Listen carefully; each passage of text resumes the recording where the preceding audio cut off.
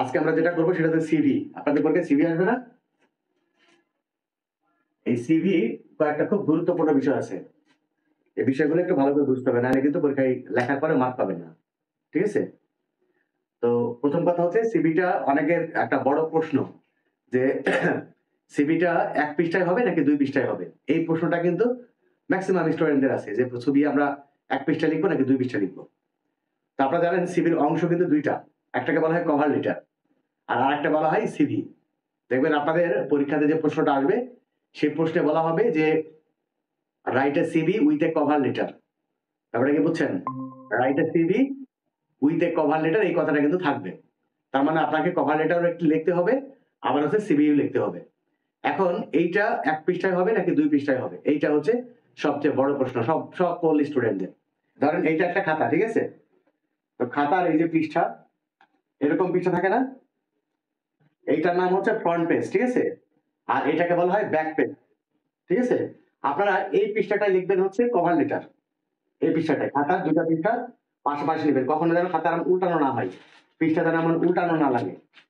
এই পাশে যে পৃষ্ঠাটা থাকবে, সেই পৃষ্ঠা লিখবেন কভার লেটার আর এই পৃষ্ঠা লিখবেন হচ্ছে সিভি ব্যাপারটা কি ক্লিয়ার হয়েছেন একটা সিভি লিখতে হবে এবং সেই সিভিতে দুইটা অংশ থাকবে। একটা নাম হচ্ছে কভার লেটার আর আরেকটা নাম হচ্ছে সিভি সিভি কোনটুকু আর কভার লেটার কোনটুকু সেটা একটু পরে বোঝাচ্ছি। আপাতত দুটো মনে রাখেন।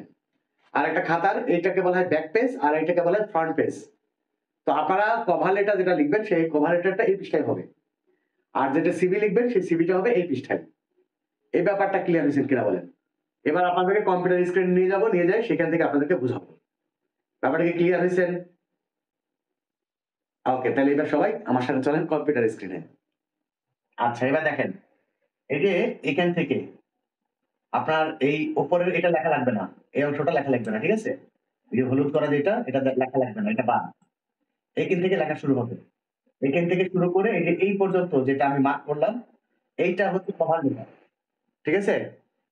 এই যে এইখান থেকে শুরু করে যে তারিখ দেওয়া আছে দেখেন, এই তারিখ থেকে শুরু করে এই পর্যন্ত এইটার নাম হচ্ছে কভার লেটার এইটা হচ্ছে বাম পৃষ্ঠায় যাবে। আর এইখান থেকে শুরু করে এই যে কারিকুলাম বা সিভি এখান থেকে শুরু করে বাকি যেটুকু আছে, সেইটুকুর নাম হচ্ছে সিভি যদি আপনাদের প্রশ্নে দেখবেন, এই পত্রিকাতে প্রকাশের তারিখটা দেওয়া থাকে, এই একটা তারিখ দেওয়া আছে দেখেন। এই তারিখটা যদি আপনাদের প্রশ্নে দেওয়া থাকে, তাহলে এই তারিখের দুই দিন বা তিন দিন পরের তারিখ হবে এইটা। বিষয়টা ক্লিয়ার হয়েছে?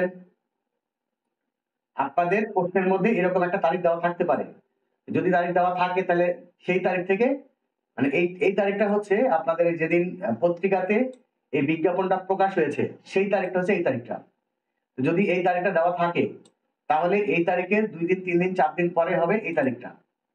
তারপরে কি ক্লিয়ার হয়েছেন আর যদি এই তারিখটা দেওয়া না থাকে, তাহলে আপনারা যেদিন পরীক্ষা হবে, সেই দিনকার তারিখ দেবেন এইটা, আর এই তারিখের দুই দিন আগের তারিখ দেবেন এই তারিখটা। বলেন, ব্যাপারটা ক্লিয়ার কিনা? ওকে এবার এই যে দেখেন ডি আছে ডির পরে হচ্ছে প্রতিষ্ঠান প্রধানের পদবি। মানে আপনি যার বরাবর অ্যাপ্লিকেশন করবেন। যদি আপনি কোনো হাই স্কুলে চাকরির জন্য টিচার হিসেবে চাকরির জন্য আবেদন করেন, তাহলে এখানে দেবেন দি হেডমাস্টার যদি হচ্ছে কোনো কোম্পানির চাকরি হয়, তাহলে দিবেন দি জেনারেল ম্যানেজার যদি কোনো ব্যাংকের চাকরি হয়, তাহলে দিবেন দি জেনারেল ম্যানেজার এক কথায়, যে প্রতিষ্ঠানের প্রধান থাকবে, যে প্রতিষ্ঠানে আপনি চাকরির জন্য আবেদন করবেন, সেই প্রতিষ্ঠানের যে প্রধান, সেই প্রতিষ্ঠানের প্রধানের পদবি ব্যবহার করবেন। এ ব্যাপারটা ক্লিয়ার এরপরে এই যে দেখেন প্রতিষ্ঠানের নাম দেওয়া আছে, যে প্রতিষ্ঠানে আপনি আবেদন করবেন, সেই প্রতিষ্ঠানের নাম আপনাদের পোস্টে দেওয়া থাকবে। কোন প্রতিষ্ঠানে আবেদন করবেন, সেই প্রতিষ্ঠানের নাম আপনাদের পরীক্ষাতে প্রশ্নে দেওয়া থাকবে। সেই প্রতিষ্ঠানের নামটা এখানে ব্যবহার করবেন। সেটা হতে পারে ধরেন আপনার যদি কোনো স্কুল হয়, তাহলে স্কুলের নাম হবে। যদি কোম্পানি হয়, তাহলে কোম্পানির নাম হবে। যদি কলেজ হয়, তাহলে কলেজের নাম হবে। যদি ব্যাংক হয়, তাহলে ব্যাংকের নাম হবে। এক কথায় যে প্রতিষ্ঠানে আপনি চাকরির জন্য আবেদন করবেন সেই প্রতিষ্ঠানের নামটা এখানে ব্যবহার করবেন। এরপরে হচ্ছে সেই প্রতিষ্ঠানের ঠিকানা, সংক্ষিপ্ত ঠিকানা ব্যবহার করবেন। ঠিকানাটা অনেক সময় আপনাদের প্রশ্নে দেওয়া থাকতেও পারে, আবার প্রশ্নে দেওয়া নাও থাকতে পারে। যদি দেওয়া থাকে তাহলে সেই ঠিকানাটা ব্যবহার করবেন। আর যদি দেওয়া না থাকে, তাহলে আপনি ইচ্ছা মতো একটা ঠিকানা দিয়ে দিবেন। ওকে, এবার আসেন সাবজেক্ট বিষয়বস্তু। Prayer for the post of এই যে একটা গ্যাপ দেখতে পাচ্ছেন, এই যে গ্যাপ এই গ্যাপে দেখবেন আপনাদের প্রশ্নে এই কথাটা লেখা থাকবে prayer for the post of একটা পোস্টের নাম দেওয়া থাকবে। এমন লেখা থাকতে পারে যে prayer for the post of English teacher prayer for the post of a কি marketing officer prayer for the post of a accountants এরকম। এইরকম ভাবে আপনাদের পোস্টে দেখবেন prayer for the post of এই পোস্ট অফ কতটা থাকবে? তো আপনাদের প্রশ্নে এই পোস্ট অফের পরে যা থাকবে, আপনারা সেইটা এই জায়গাতে লিখে দিবেন। আমরা এখানে বাংলাতে লিখে দিলাম, ঠিক আছে? পোস্টের নাম। পোস্টের নাম। তারপরে ক্লিয়ার হয়েছেন ওকে তাহলে এখানে পোস্টের নাম হবে। এই পোস্টের নামটা আপনার প্রশ্নে দেওয়া থাকবে। তারপরে যেভাবে লেখা আছে হুবহু লিখে দিবেন। ডিয়ার স্যার তারপর লিখবেন in response to your advertisement in response to your advertisement in the daily nation দেখেন, পোস্টে যদি কোনো পত্রিকার নাম দেওয়া থাকে, সেই নামটা ব্যবহার করবেন। আর যদি পোস্টে কোনো পত্রি- পত্রিকার নাম দেওয়া না থাকে, তাহলে আপনারা দি ডেইলি নেশন লিখে দিবেন, সমস্যা নেই। ঠিক আছে? এরপরে on first February twenty thirty twenty twenty three যদি প্রশ্নে এই তারিখটা দেওয়া থাকে, তাহলে আপনারা সেই তারিখটা ব্যবহার করবেন। আর প্রশ্নে যদি কোনো তারিখ দেওয়া না থাকে, তাহলে আপনারা এই তারিখটা ব্যবহার করতে পারবেন, কোনো সমস্যা নাই। তবে খেয়াল রাখবেন, যদি এই তারিখটা ব্যবহার করেন, তাহলে এখানে তিন তারিখ লিখবেন। আর যদি এটা আপনাদের ইয়ার তারিখ দেন মানে পরীক্ষার আগে আগে তারিখ দেন, তাহলে সেই ক্ষেত্রে এই তারিখের সাথে একটু আঁকা পেস করে লিখবেন। এইটা যদি ধরেন পঁচিশ তারিখ দেন, তাহলে এটা আপনি ধরেন তেইশ তারিখ দিলেন বা বাইশ তারিখ দিলেন। এইটা ধরেন আপনি বাইশ তারিখ দিলেন, এটা আপনি ধরেন উনিশ তারিখ দিলেন, ঠিক আছে? এরপরে হচ্ছে ফর দ্য পোস্ট অফ এখানে আরেকটা ড্যাশ আছে দেখেন। এই ড্যাশটাতেই যে এইখানে যেটা লিখবেন আপনি এখানে যে পোস্টটা থাকবে, এই পোস্টটাই মূলত হচ্ছে এই জায়গাতে লিখবেন। এই যে জায়গাতে। ক্লিয়ার এরপরে হচ্ছে I beg to offer myself as a candidate for the post my educational qualification and other necessary particulars are given below for your kind consideration. তারপরে হচ্ছে may I therefore pray and hope that you would be kind enough to grant me for the post ব্যাস। Cover letter আপনার হয়ে গেল। ঠিক আছে? এটা বাম পৃষ্ঠা লিখে দিবেন এটা। যা লেখা আছে হুবহু একদম কপি করে লিখবেন। আমি এটা আপনাদেরকে দিয়ে দিব। এই যে যে ফাইলটা পিডিএফ ফাইলটা আপনাদের দিয়ে দিব আর কি। এরপরে আপনি পুরাটা লিখতে পারেন। দেখেন এখানে। আমি কারিকুলাম ভিটা অথবা সিবি এই দুটোর মধ্যে যে কোনো একটা লিখবেন। হয় আপনি কারিকুলাম ভিটা লিখবেন, না হলে লিখবেন সিবি দুটোর মধ্যে যে কোনো একটা লিখলে হবে। ওকে এরপরে এখানে ব্যবহার করবেন যে লেখা আছে ফুল নেম ফুল নেম আপনি একটা ব্যবহার করবেন, যদি প্রশ্নে কোনো নাম দেওয়া থাকে, সেই নামটা ব্যবহার করবেন। আর যদি প্রশ্নে নাম দেওয়া না থাকে, তাহলে ইচ্ছা মতো একটা নাম ব্যবহার করবেন। আপনি নিজের নামও ব্যবহার করতে পারেন, তবে নিজের নাম ব্যবহার না করাই ভালো। ঠিক আছে? এরপরে একটা বাবার নাম দিয়ে দিবেন, তারপরে হচ্ছে মান নাম ব্যবহার করবেন। এটা আপনার ইচ্ছা মতো ব্যবহার করতে পারবেন, সমস্যা নেই। যদি প্রশ্নে শুধু দেওয়া থাকলে, নিজের নামটা দেওয়া থাকতে পারে। বাপের নাম বার নাম আপনি ইচ্ছা মতো দিবেন। কারণ প্রশ্নে যে নামটা দিল, আপনি সেই নামটা ব্যবহার করবেন। আর ধরেন বাপের নাম এবং মায়ের নামের জায়গায় নিজের বাপ মায়ের নাম দিয়ে দিবেন। এরপর আছে প্রেজেন্ট অ্যাড্রেস প্রথমে দিবেন হচ্ছে গ্রাম ভিলেজ এখানে গ্রামের নাম দিবেন, তারপর এখানে দিবেন হচ্ছে ডাকঘরের নাম। তারপরে হচ্ছে উপজেলার নাম, এরপরে হচ্ছে আপনার জেলার নাম। এই যে ডিস্ট্রিক্টের পরে জেলার নাম ব্যবহার করবেন। ক্লিয়ার এটুকু ক্লিয়ার প্রেজেন্ট অ্যাড্রেস মানে বর্তমান ঠিকানা। অনেকের দুইটা ঠিকানা হয়। একটা হচ্ছে বাসাতে এক জায়গায় বাসা, থাকে আরেক জায়গায়। এমন হয়। ধরেন বাসা ধরেন হচ্ছে একটা জেলায়, ধরেন বগুড়া বগুড়া জেলায় হচ্ছে বাসা। সে থাকা ঢাকাতে, এরকম এই জন্য প্রেজেন্ট অ্যাড্রেস আর একটা হচ্ছে পার্মানেন্ট অ্যাড্রেস মানে প্রেজেন্ট অ্যাড্রেস মানে বর্তমানে সে কোথায় থাকে আর পারমানেন্ট অ্যাড্রেস মানে সে স্থায়ী বাসিন্দা, সে কোথাকার বাসিন্দা। ঠিক আছে? তো আপনারা যেটা করবেন, আপনারা দুইটা জায়গাতে একই ঠিকানা ব্যবহার করবেন।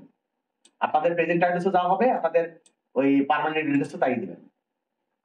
ঠিক আছে? ওকে এবার দেখেন। সেম সেম তো বললাম। যে আপনারা এখানে যা যা ব্যবহার করবেন, এখানে তাই তাই ব্যবহার করবেন। আলাদা করার দরকার নেই।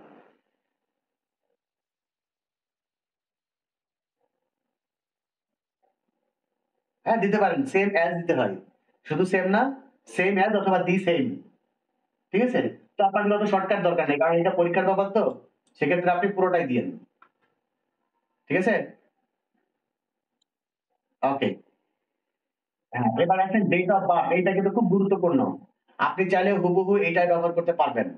যদি এটা ব্যবহার না করেন, তাহলে আপনাদের খেয়াল রাখতে হবে, এই যে জন্ম তারিখ, এই জন্ম তারিখের সাথে আপনার এসএসসি পাস যে সালে করবেন, সেই সাল থেকে, জন্ম তারিখ থেকে আপনার এসএসসি পাসের সাল সর্বনিম্ন পনেরো বছর ডিফারেন্স হতে হবে।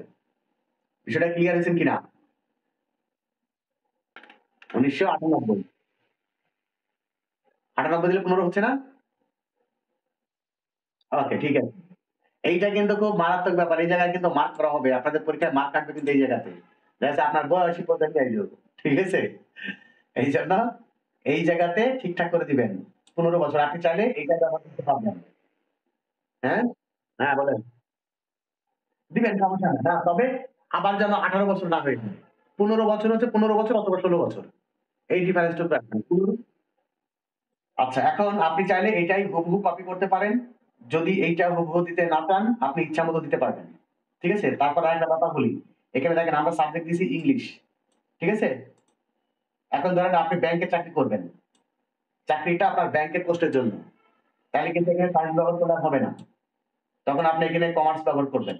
ওই যে বিজনেস স্টাডিজ বিষয়টা বুঝছেন কিনা? খুব গুরুত্বপূর্ণ পয়েন্ট কিন্তু এগুলো। ধরেন আপনার চাকরিটা হচ্ছে ব্যাংকের তাহলে আপনি সায়েন্সের স্টুডেন্ট হয়ে আমার লাভ নাই। তখন এখানে দিবেন বিজনেস স্টাডিজ ওকে আচ্ছা বিজনেস স্টাডিজ পরে আপনি পরবর্তীতে ইংলিশে অনার্স করছেন, তাতে সমস্যা না আবার আপনি এখানে অনার্স মাস্টার্স হচ্ছে আপনি ইয়ে দিতে পারেন অ্যাকাউন্টিংস দিতে পারেন অ্যাকাউন্টিং এখানে তখন ইংলিশের পরিবর্তে অ্যাকাউন্টিং দিবেন। ঠিক আছে? আচ্ছা আর একটা ব্যাপার বলে দিই। ধরেন আপনি বাংলা টিচার হিসাবে যোগদান করবেন। কোনো স্কুলে বা কলেজের বাংলা টিচার হিসাবে আপনি যোগদান করবেন। তাহলে তখন আপনার এই এসএসসি এইচএসসি এটা আর্টস কমার্স সায়েন্স যে কোনো একটা হতে পারে, সমস্যা নেই। কিন্তু অনার্স মাস্টার আপনাকে বাংলা করতে হবে তখন। সেটা ক্লিয়ার এটা কিন্তু মাথায় রাখবেন, এইগুলোতে কিন্তু আপনার মার্ক মনে রেখেন। কারণ একজন অনেকে কি করবে, এই হুবহু কপি করে দিয়ে দিবে। ওকে চাইছে হচ্ছে বাংলা টিচার কিন্তু ও পাস করেছে অনার্স মাস্টার্স ইংলিশে ইংলিশে অনার্স মাস্টার্স করে আমার লাভ নাই, তো আমার দরকার হচ্ছে বাংলা টিচার ব্যাপারটা ক্লিয়ার তারপর আপনার রেজাল্ট রেজাল্ট সেম সেম দিলেন রেজাল্টের সমস্যা নেই কপি করলে সমস্যা নেই। তারপরে হচ্ছে রিলিজিয়ন দিবেন ইসলাম ন্যাশনালিটি বাংলাদেশি, তারপরে ম্যারিটাল স্ট্যাটাস হচ্ছে আনম্যারিড তারপরে এডুকেশনাল কোয়ালিফিকেশন তো দিয়ে দিলাম, শেষ। এরপর লিখবেন ইউর ফেথফুলি একটা সিগনেচার নিজের নাম লিখে দিবেন, অথবা এই যে, এই জায়গাতে যে নামটা ব্যবহার করবেন, এই জায়গাতে। এই যে ফুল নেমের জায়গায় যে নামটা ব্যবহার করবেন ইউর ফেথফুলির নিচে, এই জায়গাতে সেই নামটা ব্যবহার করবেন। এই শেষ সিভি লেখা।